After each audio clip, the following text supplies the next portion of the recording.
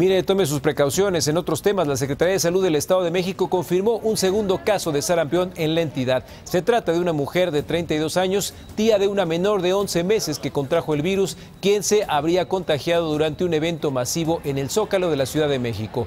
La mujer se contagió a pesar de contar con las vacunas de 1988, 1997 y 2014. Pero bueno, mientras son peras son manzanas, todos los niños a vacunarse.